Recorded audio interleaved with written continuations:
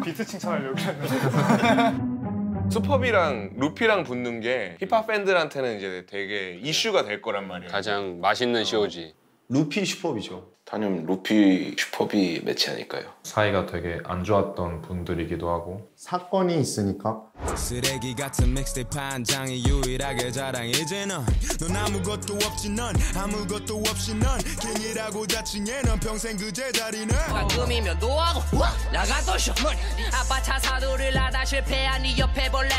도움이 필요해. 둘이 한 번에 덤빌 때. 끌어줄 테니 올라와 저희가 자꾸 엮이는 것 자체가 불편했고 그리고 심지어 저는 그 사건으로 인해서 병원을 다니기도 했고요. 그냥 이기고 싶다라는 생각밖에 없는 것 같아요.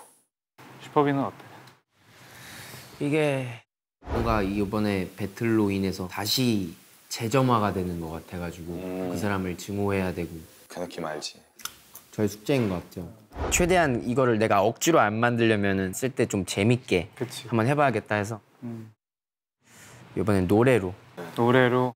아 루피 형. 크게 승승장구 할 줄 알았는데 저를 만나셔가지고 죄송하다는 말씀을 전합니다.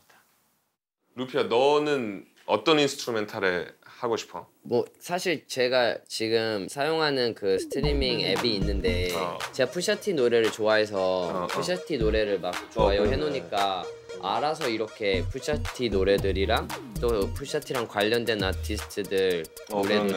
처음으로 이 믹스테이프 리스트에 add가 되더라고요. 와 이게 그러니까 한국 이건 진짜 신기하다. 어, 그렇지. 어. 그래서 제가 두 가지 정도를 고민 중이거든요. 한번 들어볼까? 아, 이 노래 또 옛날 생각나네 또. 요 비트도 좋을 것 같고. 음, 네. 이게 이 앨범의 1번이었을 거야 아마. 그래서 어 맞아 그랬던 거.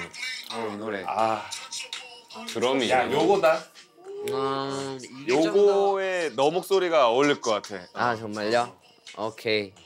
우리 둘의 승부가 끝났을 때 제가 패배자로 남고 싶지는 않아요. 스퍼비나 루피나 그러니까 요 미션을 사실 하고 싶지 않겠지만 이기는 것이 또 래퍼의 자존심을 지킬 수 있기 때문에 걱정되면서도 이들의 수준이 어느 정도까지인가를 음, 맞아요. 좀볼 수 있는 기회인 것 같아요.